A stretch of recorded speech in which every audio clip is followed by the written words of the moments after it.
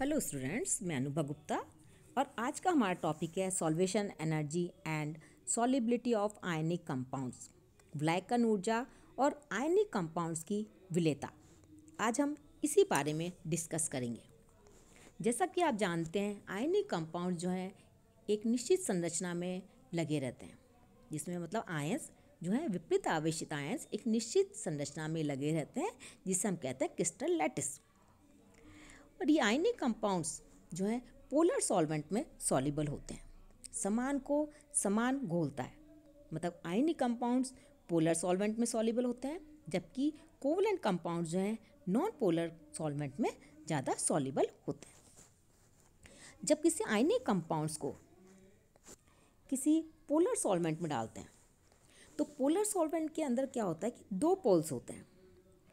एक होता है पॉजिटिव एंड और एक होता है नेगेटिव एंड। तो ये एक पोलर मॉलिक्यूल है। तो जब किसी आयनिक कंपाउंड्स को, जैसे फॉर एग्जांपल सोडियम क्लोराइड लिया हमने, ये सोडियम क्लोराइड ले रखा हमने, इस सोडियम क्लोराइड को जब किसी वाटर के अंदर डालेंगे या पोलर सॉल्वेंट में डालेंगे तो जो सॉल्वेंट का नेगेटिव एंड जो है, आयनिक क्रिस्टल के पॉजिटिव एंड को आकर्षित करेगा, सोडियम को आकर्षित करेगा और इसका पॉजिटिव एंड जो है, नेगेटिव एंड को, नेगेटिव क्रिस्टल को आकर्षित करेगा जैसे क्लोराइड को वो आकर्षित करेगा।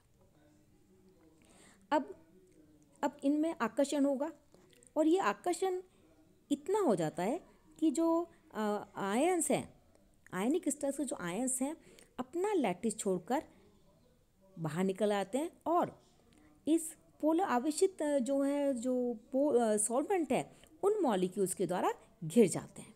इस प्रक्रिया को हम कहते हैं हाइड्रेशन इसका मतलब क्या हुआ? जब आयनिक क्रिस्टल को आपने सॉल्वेंट में डाला तो सॉल्वेंट का पॉजिटिव एंड आयनिक क्रिस्टल के नेगेटिव आयंस को अट्रैक्ट करेगा और नेगेटिव एंड जो है पॉजिटिव आयन को अट्रैक्ट करेगा और ये जो है सॉल्वेंट मॉलिक्यूल को क्रिस्टल के आयंस को खींच कर अलग कर देते हैं। और साथ ही इनको के जो है सॉल्वेंट को घेर लेते हैं, जो सॉल्वेंट मॉलिक्यूल है आयंस को घेर लेते हैं। इस प्रोसेस को हम कहते हैं सॉल्वेशन और यदि सॉल्वेंट वाटर मॉलिक्यूल वाटर है तो इसे हम कह देंगे हाइड्रेशन जो आयंस के चारों ओर जो है प्रबल हाइड्रोजन बंध के कारण जो है, जल की कई लेयर्स बन जाती हैं। अब यह है कि हम ये कहते हैं कि जो आयनिक कंपाउंड पोलर सॉल्वेंट में ज़्यादा सॉल्युबल है। तो इसका मतलब जो एच एफ़ है एच एफ़ का डाइपोल मूवमेंट ज़्यादा है। तो इसमें हाइड्रोजन बॉन्डिंग भी पाई जाती है, लेकिन तब भी ये अच्छा सॉल्वेंट नहीं है। क्यों नहीं है? क्योंकि एच एफ़ जो है एक वीक बेस है और वीक बेस होने के कारण ही ये जो है, ये अच्छा सॉल्वेंट नहीं है यह विलायकन के द्वारा स्थायिकत करने में असमर्थ है।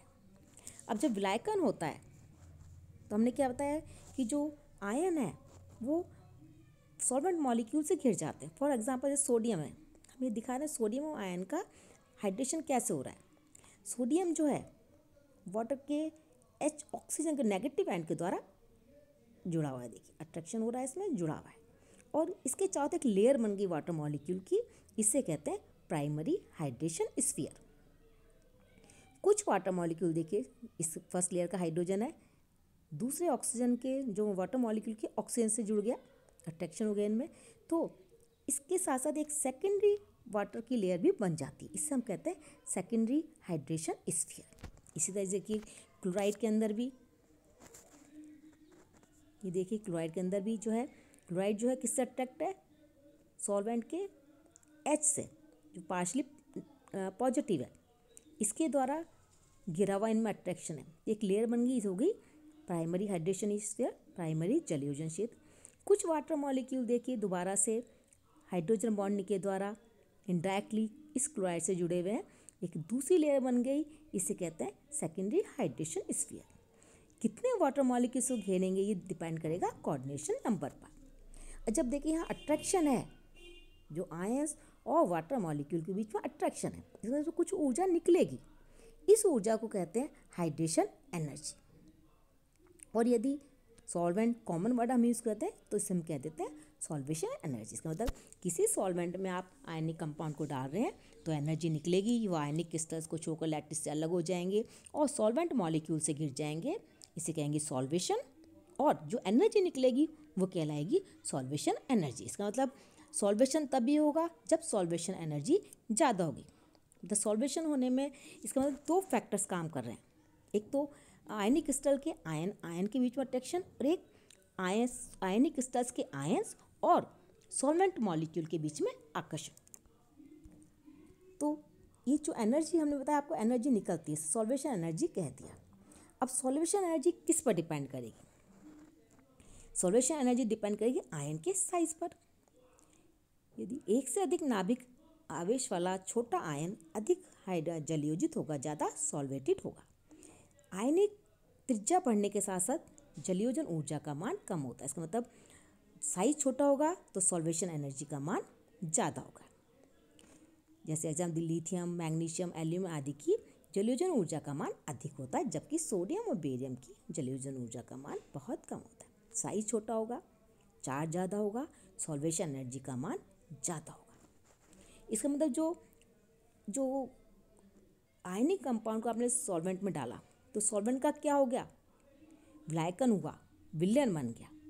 तो इस ऊर्जा के कुल परिवर्तनों को हम एक बॉन्ड हैबर साइकिल की सहायता से प्रदर्शित कर सकते हैं। कैसे? जैसे ही अपने सोडियम, आपका आया, आयनिक क्रिस्टल हो गया सॉलिड है। सॉलिड में जब आप सॉल्वेंट डाला तो दो तरह से हो सकता है। विलियन दो तरह से बन सकता है। दो स्टेप में हम इसको शो कर सकते एक तो हमने बता दिया कि जो आयनिक क्रिस्टल है, उसमें हमने सॉल्वेंट डाला और सीधे उसका सॉल्यूशन बन गया। दूसरा हो सकता है कि जो आयनिक क्रिस्टल है, पहले उसके आयंस बने, उन आयंस का हुआ सॉल्वेशन तो आयनिक क्रिस्टल के आयंस बनने में कुछ एनर्जी देनी पड़ेगी। वो कितनी बराबर होगी? वो लैटिस एनर्जी के बराबर होगी। जब ये आयंस बन जाएँगे, ये वाटर मॉलिक्यूल या सॉल्वेंट से घिर जाएँगे तो क्या होगा? एनर्जी निकलेगी, जिसे हम कह रहे हैं हाइड्रेशन एनर्जी। तो तब जाके विलियन बनेगा। तो इसको हमने इस बोन हैबर साइकिल की सहायता से हम इसे बता रहे हैं। अब देखिए हमने लिख रखा है, ठोस एम एस की जालक ऊर्जा है यू से जो कर रहे हैं लैक्टिस एनर्जी है। H plus H minus gas ions F gas ion के विलायकन में मुक्त ऊर्जा का मान है। सॉल्वेशन और इसकी एनर्जी निकलेगी। तो टोटल क्या हो गया? एल बराबर किसके हो गया? U lattice energy minus hydration energy L equal to U minus H S positive ion की hydration energy plus negative ion की हाइड्रेशन एनर्जी एल है। एल क्या? आयनिक क्रिस्टल की विलायकन ऊर्जा। यह हम इसे और अच्छी टर्म्स में हमें विलयन ऊर्जा कह सकते हैं। जो उस लवण की जालक ऊर्जा एवं उसके आयनों की विलायकन ऊर्जा पर निर्भर करिए एच एस क्या है? आयंस की विलायकन ऊर्जा। जो विलयशील यौगिकों के लिए विलायकन ऊर्जा का मान ऋणात्मक होता है। यदि विलायकन जो विलयशील यौगिक होंगे तो क्या होगा?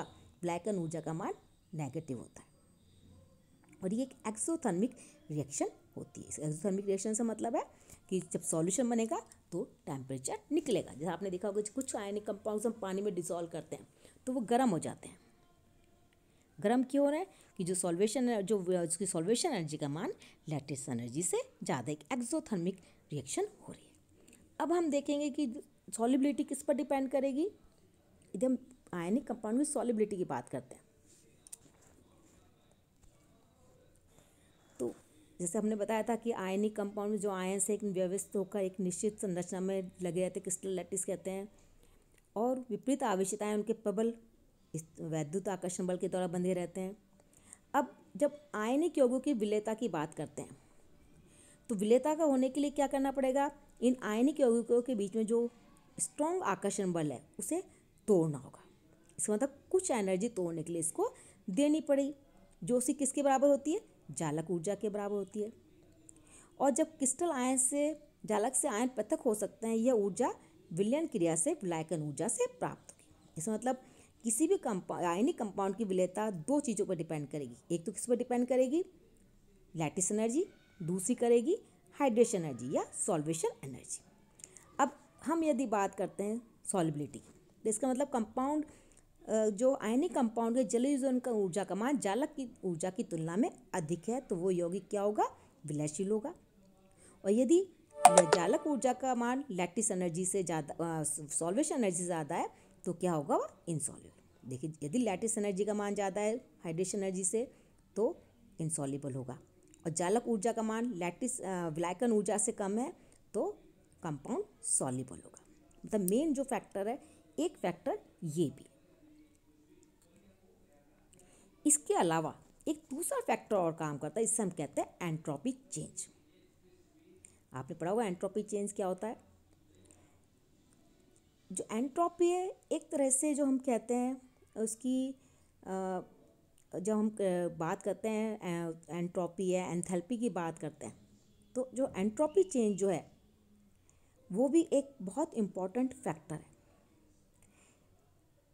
कुछ आपने देखा होगा कि कई केसेस के अंदर यौगिक भी बहुत विलयशील होते हैं, जिनकी विलायकन ऊर्जा का मान धनात्मक होता है। मतलब कई, ये तो हमने बता दिया कि यदि सॉल्वेशन एनर्जी लैटिस एनर्जी ज़्यादा है तो सॉल्युबल होगा। लेकिन कई केसेस के अंदर जो सॉल्वेशन एनर्जी का मान जो है, या विलियन ऊष्मा का मान पॉजिटिव है, लेकिन तब भी कंपाउंड सॉल्युबल हो जाता है। इसमें रिएक्शन जो एंडोथर्मिक है, लेकिन तब भी वो सॉलिबल हो जाता है। उसका मेन रीज़न है एंट्रोपिक चेंज यदि एंट्रोपी ज़्यादा है तो भी कंपाउंड सॉल्युबल हो सकता है। जैसे हम इसको एग्जांपल देके हम बता रहे हैं, जैसे जो किसी भी तंत्र की मुक्त ऊर्जा और एंट्रोपी में जो रिलेशन है, वो ये है delta G equal to delta H minus T delta S delta S क्या है? ब्लैकन ऊर्जा, जिसे हमने एल से शो किया था, विलियन ऊष्मा। विलियन ऊष्मा कहा था इस हमने। डेल्टा जी है फ्री एनर्जी डेल्टा एस क्या है? एंट्रोपी चेंज तो डेल्टा एच जो है एल के बराबर है। तो डेल्टा जी इजिकल टू कितना हो गया? L minus T delta S हम ये कह रहे हैं कि यदि डेल्टा जी का मान नेगेटिव है तो कंपाउंड सॉल्युबल होगा। तो यदि एल जब हमने कहा, विलयन ऊष्मा, जो किसकी बराबर थी? यू माइनस एच एस के बराबर थी। यदि वो नेगेटिव है मतलब जो सॉल्वेशन एनर्जी लैटिस एनर्जी से ज़्यादा है, जिसका मतलब एल का मान नेगेटिव हो गया तो एक्जोथर्मिक रिएक्शन है और आयनिक कंपाउंड जो है सॉल्वेंट में सॉल्युबल होगा। एल का मान ऋणात्मक है विलायकन ऊष्मा का प्रक्रम ऊष्मा शेपी शेपी होगा। तो सॉल्युबल है। अब दूसरी बात करें कि हम एल का मान यदि पॉजिटिव है मतलब लैटिस एनर्जी सॉल्वेशन एनर्जी से आता है तो एल पॉजिटिव हो गया। लेकिन तब भी कंपाउंड सॉल्युबल कैसे हो सकता है? कंपाउंड सॉल्युबल हो सकता है यदि डेल्टा एस का मान ज़्यादा एल से ज़्यादा हो जाए तो क्या होगा? डेल्टा जी नेगेटिव हो जाएगा और जो है कंपाउंड सॉल्युबल हो जाएगा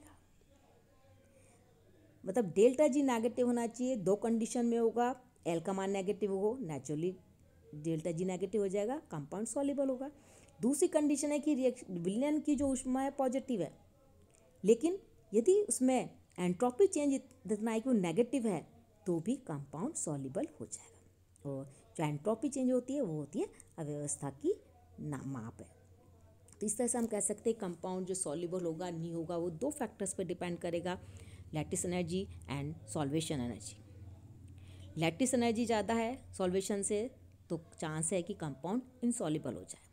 लेकिन तब भी सॉल्युबल हो सकता है यदि डेल्टा एस का मान डेल्टा, जो सो डेल्टा एच या एल से ज़्यादा इस तरह से आज हमने देखा कि जो सॉल्वेशन एनर्जी क्या है और सॉलिबिलिटी किस चीज़ पर डिपेंड करेगी। किस, किसे कहेंगे और किस तरह से वो जो है फ्लाइकन ऊर्जा पर निर्भर करती है। नेक्स्ट वीडियो हम देखेंगे factors affecting solubility of ionic compounds ionic compounds की विलेता को प्रभावित करने वाले कारक। Thank you